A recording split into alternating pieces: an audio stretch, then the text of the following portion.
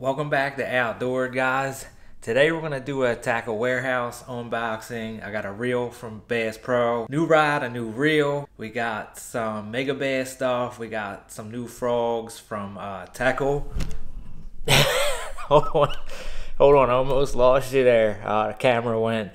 Um, and I also got some Gary Yamamoto custom baits. Before we get started though, make sure you drop a comment down below and let me know what new tackle you guys got. Um, give this video a like if you liked it. Ring that notification bell so you get all my content as soon as it drops. And also smash that subscribe button down. Alright, let's start with the fun stuff. I got the Shimano Expride. It's a 7 foot medium. I needed a 7 foot rod and this is perfect for, you know, all around fishing this is the Expride B, so it's a newer model, and you can see it's got like the monocoque handle on it. I think this is it's the S7 foot 70 MB, um, and it says versatile. Basically, this is an all-around spinning rod. So you can see I got tied on. If you watched my last unboxing, this is the Storm Largo Shad. I got that tied on. Stay tuned to the channel because we're going to take this to the reservoir and try to hook up with some uh, bass. All right, so this rod is rated 3 16ths to half ounce. So I'm going to be throwing stuff like smaller swim baits. Um, I think they tuned or, you know, designed these Expride B rods for finesse applications. Um, I got the Vanford 2500 on here. We're going to go over that next.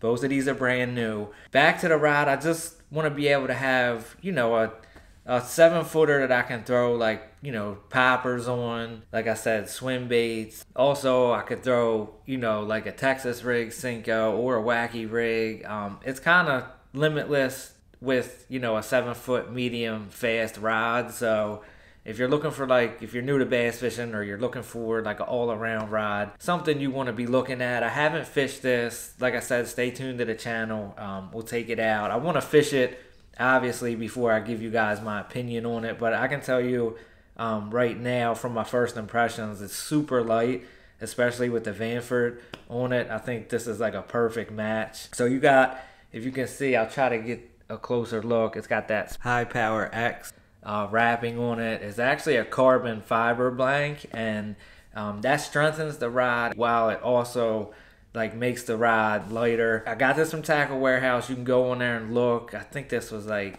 around 280ish. It's got the SIC, the the Fuji guides on it.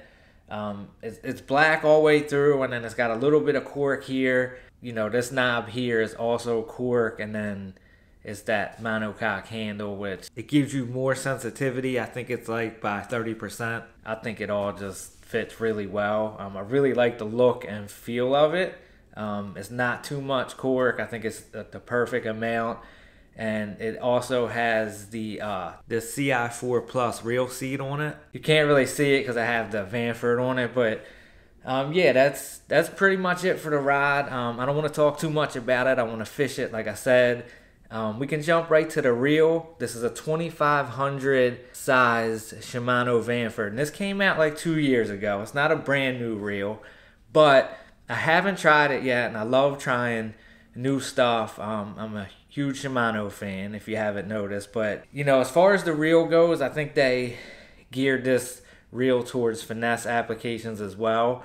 Um, I'm still gonna throw other stuff on the setup, guys. It's not just gonna be finesse. I actually have 30 pound braid, which is probably on the higher end, but I've always run 30 on my spinning setups and never had an issue. So I do have a 10 pound leader uh, fluorocarbon Sunline Sniper attached to the main line, especially, you know, because the reservoir is clear water and stuff like that. But I think the reel only weighs a little over six ounces, guys. So that's crazy. Um, this, like I said, it's a really awesome feeling setup. They also got 20 pounds of drag in this Vanford. So um, it is coded as well, so like I have seen or also read and seen people fishing these in for inshore stuff. So like, especially for the price, I don't. I think you're getting a lot with this reel. I've had the Stradic, I have a Sustain over there, and I felt like this just fit in between those two, and I can't wait to fish this.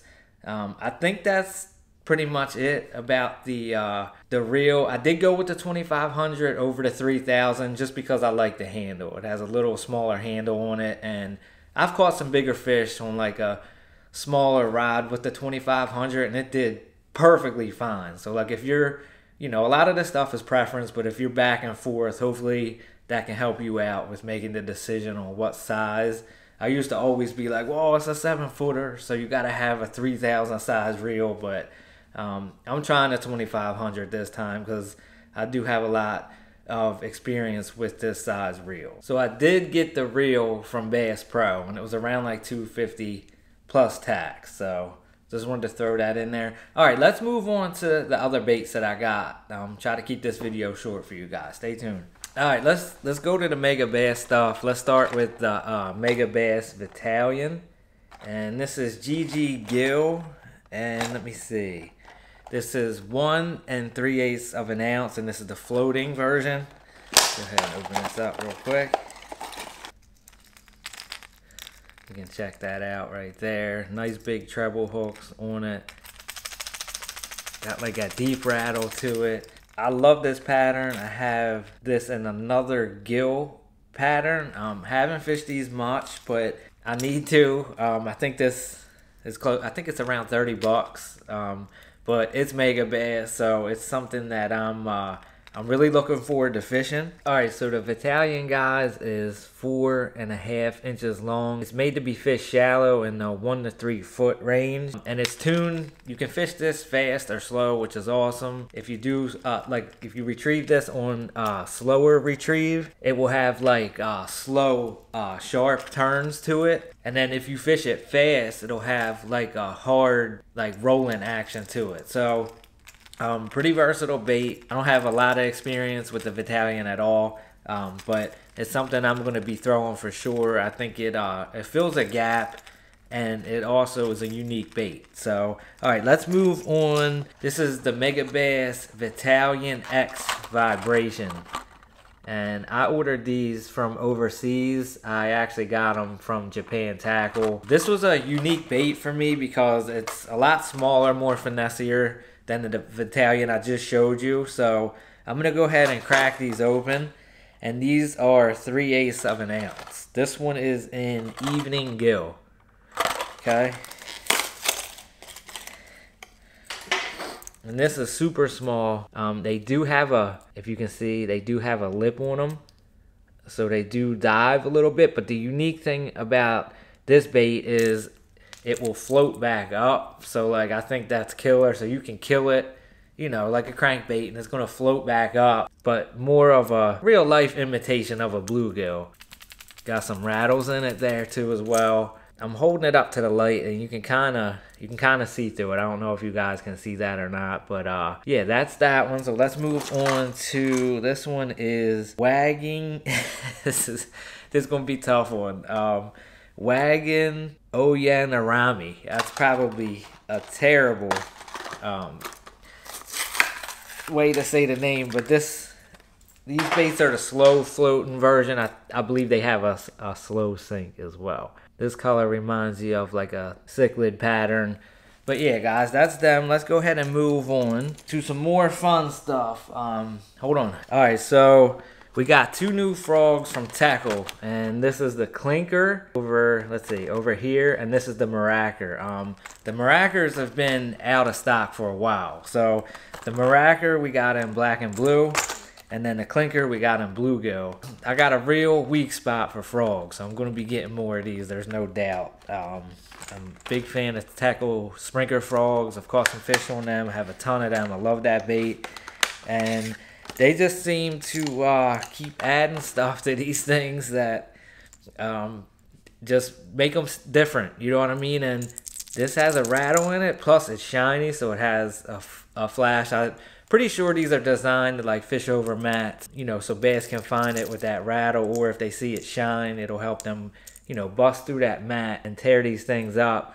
But this is just one that I wanted to add to my arsenal just because I'm already a fan and I think I think that's gonna get bit. You know what I mean? So that was the reason why I picked this up. But yeah, that's the Maracker frog. And then let's move on to the clinker. And this one's brand new. These just came out not that long ago. This is the bluegill color. Pretty cool uh, bluegill color there. And this is like I believe this is designed to be more like a fish like a wake bait. So it has these two blades on the back. Um, it has a silver and a gold one, and there is some videos out there if you guys want to check it out of people fishing these, and it just makes a racket, and it's kind of like a weedless wake bait. You know what I mean? In a frog form, and uh, this is another one I'm excited to throw. You can hear that right there.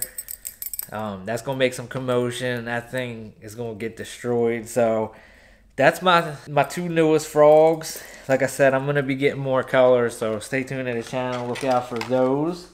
All right, let's move on to the last thing. All right, so we got some Yamamoto baits flapping hogs, and I'm gonna go ahead and take one of these out. There's a large size which isn't as big as I thought, and there's a smaller size. So uh, there's seven in the smaller size and five in the bigger sizes.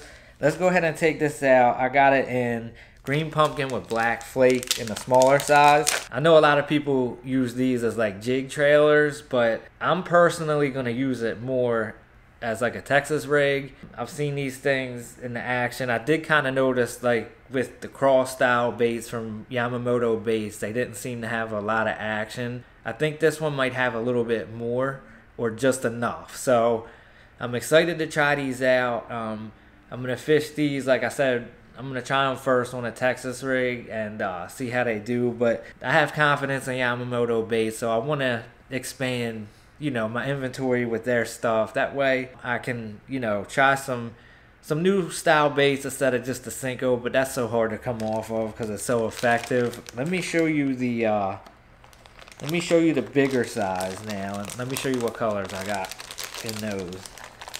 All right, so we got black black with uh, large blue flake. We got green pumpkin with black flake, same thing as the uh, the smaller version I just showed you. And then we have watermelon with copper orange with red. Should be really good in the springtime. Um, I'll go ahead and take one of these out so you guys can see the size difference. These aren't really scented, guys, but I'm pretty sure they have all the salt just like the uh, the Senkos do. But there's the size difference. Check it. There we go. Okay, we'll flip them around this way. It's a bigger one over here. It's a smaller one. Just so you guys know, I mean, to me, like that'll be the one I'll be throwing on a Texas rig. It's not overly big. I know some soft plastics when you look at the bigger size, or I have in the past, they they seem too big. So I think this is perfect size. Maybe throw that other smaller one on a jig. And this will be my Texas rig for sure. Alright guys, that's it. I'll be having more unboxings uh, in the future. Got some stuff I got in my uh, cart or save for later from Tackle Warehouse. That always gets me in trouble, but I got some stuff that I do want to get before the spring. So definitely stay tuned to the channel. Drop a comment, like I said. Let me know what you guys recently picked up as far as baits go or you know rods and reels any of that stuff ring that notification bell so you get all my content as soon as it drops. Definitely smash that subscribe button down. Until the next one you have officially been Outdoor'd